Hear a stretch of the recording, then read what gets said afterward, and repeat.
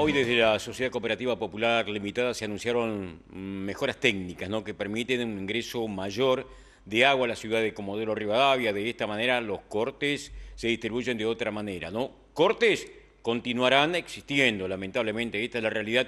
Únicamente dejarán de ser tales si es que la hora de repotenciación del acueducto alguna vez se termina. ¿no? Este es el informe que se da desde el ámbito cooperativista.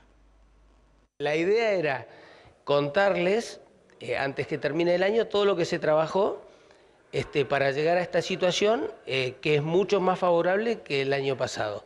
O sea, ¿va a haber cortes? Sí, pero va a haber menos cortes y van a ser más cortos, producto de todo el trabajo que se hizo. Ahí están contando los ingenieros que, por ejemplo, hoy el acueducto está aportando 400 metros cúbicos más por hora. Eso hace que sea una reserva de la mata por semana. O sea, entonces la idea es que este verano estamos mucho mejor, de hecho si miramos diciembre y noviembre, comparados con el año pasado, hemos hecho muchísimos menos cortes, a pesar de la rotura que tuvimos, si no tal vez hubiéramos llegado sin cortes. Lo que no significa es que no va a haber cortes, eso va a depender de muchos factores, sobre todo los climáticos.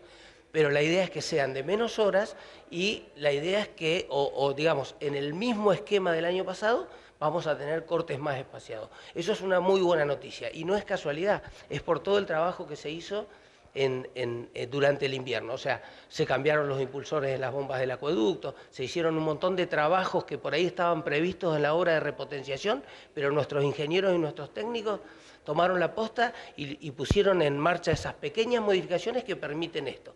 Y en el marco... ¿El personal de la cooperativa? Exactamente. ¿O contrataron para eso? todo por personal propio. Y en el marco de la distribución se está hablando de todas las válvulas reguladoras, las estaciones con válvulas reguladoras que se instalaron en la ciudad que permiten regular presiones y de esta manera no hay que esperar que los caños que están más abajo presuricen tanto para que les lleguen a los de arriba, sino que esas válvulas controlan las presiones y permiten que la gente que vive en las zonas altas tenga agua antes de lo que sucedía el año pasado. De esta manera el corte se restablece de manera más equitativa y hay menos roturas y menos derroche de agua y eso también contribuye a que las reservas también nos duren más.